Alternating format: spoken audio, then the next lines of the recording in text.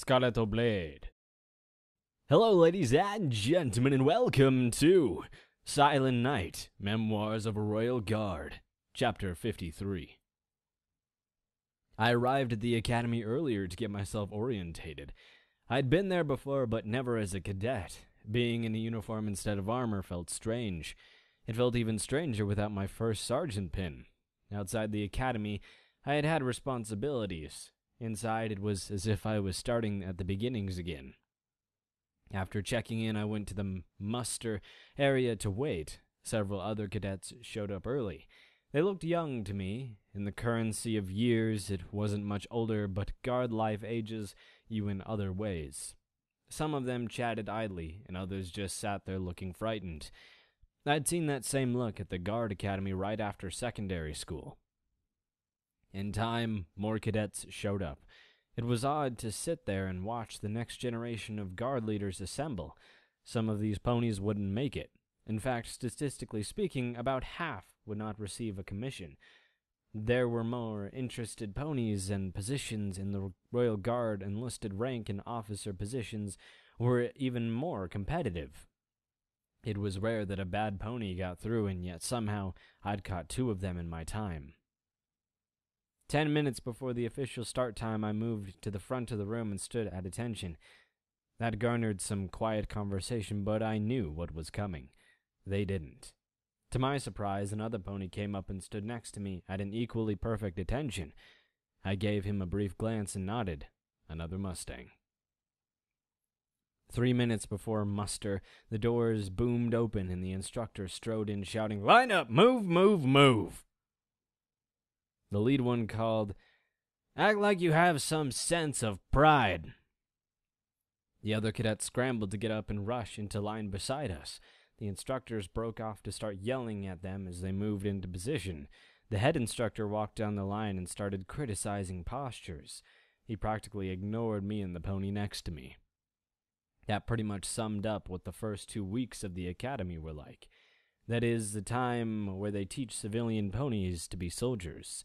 Stand at attention, march correctly, use the right terms, speak appropriately, and other similar things. Ponies that mess up get attention. The ones that do it right get ignored. I was ignored a lot, and that was fine. Good at night. your performance thus far has been exemplary. It is almost as if you were a decent royal guard before you got here. The senior instructor said from the other side of the desk. I'd made an appointment for some of his time. Most cadets stayed on campus in the evenings, but it wasn't wholly necessary. I'd engaged Crystal Wishes as a personal tutor and wanted to have the freedom to continue our classes.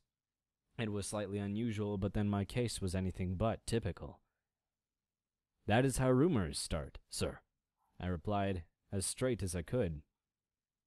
The senior instructor would never crack a smile in front of a cadet, and this one certainly didn't. Your request for evening liberties is approved. I think it, this private tutor is an excellent idea and you're already ahead of most of your peers. If you show up late one day, however, your plot will be running laps until time stops. Are we clear? Yes, sir. Dismissed. Onyx Mace and I sat across from each other eating lunch. He never said much, which was fine by me. From what little conversation we did have, I learned that he was a royal guard out of Baltimare he was married, older than me, and wanted to improve his life, so we applied for a position in the academy and was accepted on some sort of scholarship. Three other cadets approached us. Tell me something, the lead one said. How come you two never have any pony come down on you? Onyx didn't move. He just kept eating lunch. I shrugged. We've been through this once before. We'll be learning more on the ba- backside. I told you, one of the others said, tapping his front hoof. They're Mustangs. They're the ones who know how to do the, do it right. The first one shrugged. So you two can help us when we're not in class. I'm getting tired of being yelled at. Onyx Norton said wrong business. It took a lot of effort, but I suppressed a grin. We'll all be getting yelled at. for as long as we're royal guards. If you want pointers, though, I'll be glad to help you out. It means putting the more hours, though. The third cadet said, My dad said that these ponies are the only ones that make it. Is that true? Yes, Onyx said between bites. I continued, You have to stand out. Half the ponies here aren't going to graduate. We lost six in the first two weeks. I've never seen ponies run so fast. Again, I suppressed a laugh. Onyx didn't. You know, that isn't funny. Those ponies were trying really hard. The first one challenged. I lifted a hoof and said, Easy. We don't mean anything by it. It's just the first three weeks are the easiest. That's not what they wanted to hear.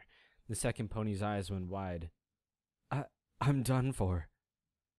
Not if you work hard, I replied as I finished my lunch. Lightly, I tapped Onyx on the shoulder. Come on. I guess we've got about five minutes. Onyx grunted and got up. The three cadets looked at us curiously. Lunch in another twenty minutes. We haven't even had time to eat yet, the first said. I shrugged. Onyx snorted, and we went to stand to attention near the doors. Three minutes later, the instructor galloped into the lunch area and interrupted the meal.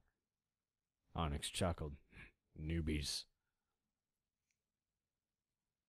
Crystal and Velvet had moved all of their living room furniture to make room for dance practice.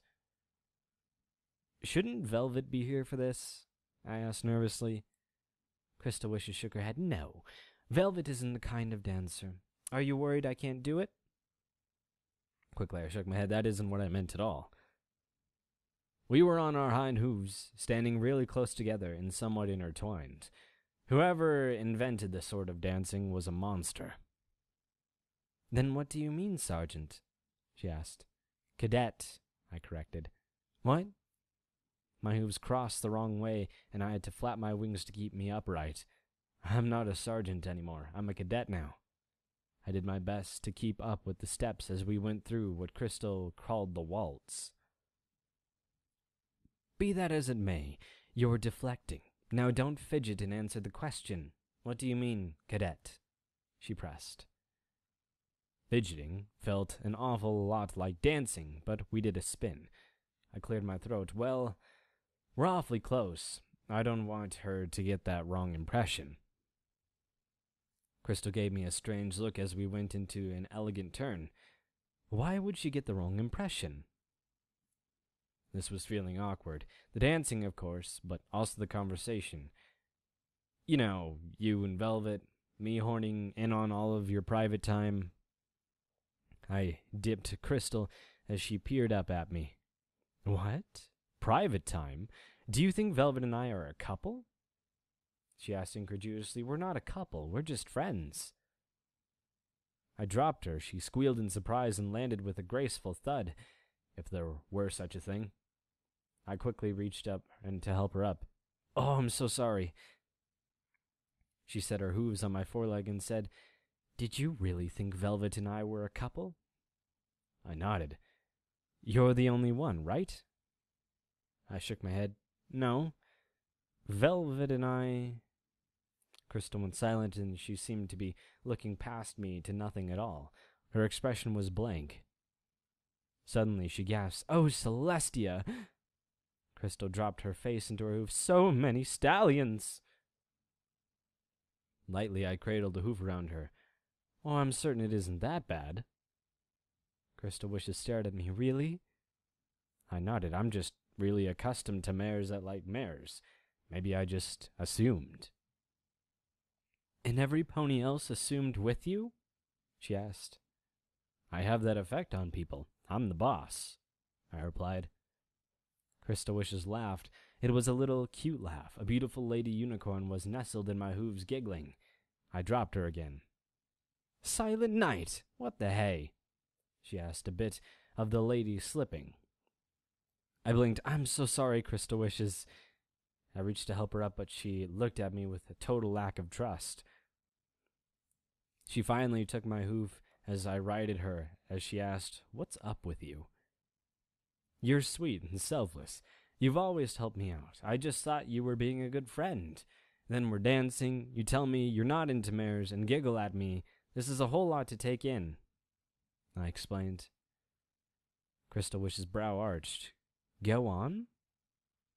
I'm not very good at relationships, but I believe Winterspear would say you're sending signals. And honestly, now that I think about it, Velvet was trying really hard to help you, which was really confusing. It sort of felt like she was trying to wrangle some sort of three pony relationship. I rambled, which I'm not against, but to be frank, I think my capabilities will limit with a single mare. Crystal Wishes laughed more and tumbled onto her back. I guess it was pretty funny, really. I settled down next to her. If you're not seeing Velvet, I'd really like to ask you out, I said. Behind us, the door opened and Velvet came in, her head tilted at a sight of us on the floor. Hi, she said. This doesn't look like dancing. Quickly, Crystal got up and exclaimed, He thinks we're a couple. Every pony does. Isn't that great? Velvet looked skeptical. Reason tells me no, but your expression says yes? He finally asked me out. She cheered. Blindingly fast, Velvet hurried over. The two mares embraced and bounced, giggling and squealing. I cleared my throat.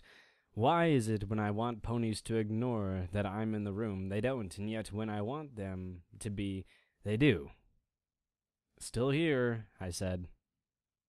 The pair stopped celebrating and let go of each other. So, Velvet said, every pony thinks we're a couple. That would explain why no pony has asked either of us out in a while. But we're not that bad, right? Crystal made a face and said, just think about it for two minutes. Velvet did and sighed. Oh, Crystal, I'm so sorry. It actually kind of looks exactly like that, especially with me being, well, you know. Crystal was just, uh, familiar towards you, Velvet. I put in, although I didn't understand the second part. Slowly I got up and came over to the two. I have to get back. Cadets get very little liberty. Keep your date book open, please. I hugged them both out of the habit and quickly snuck out. When the door was closed, I heard a duet of high pitched squeals. Getting to the academy on time was never really a hard thing for me. It surprised me that the ponies staying on campus were still struggling with the early morning drills. Being awake early was part of being a Royal Guard. Of course, in my case, my schedule was normally different, but adapting back was easy. We were galloping along the exact same path in Canterlot that I had galloped a thousand times when I had been a Royal Guard trainee, it was familiar and brought back fond memories of other times. Of course, it was still full of fond memories from the night before. Crystal Wishes was not, in fact, with Velvet Step. She was, in fact, eager to spend some time with me. Why mares could never just come out and say things, I'll never know. That didn't matter now, though. As soon as I graduated, the two of us would start dating. In the meantime, that would also make my evening tutoring sessions with her tense, but in a good way. Stop smiling, Onyx said next to me between breaths. Quickly, I wiped off whatever grin was on my mouth before one of the instructors noticed. They're not keen on that sort of thing. I put my blank expression back into place and nodded a thanks to my companion. We hurried on. We'd make it make time, but some of the younger ponies were doing it faster. That was okay, though. Never try to compete with another pony, just yourself and your standards. Once our gallop and all of the other physical exercises were completed, we hit the showers. Onyx gave me a look. It was possible that I was smiling again.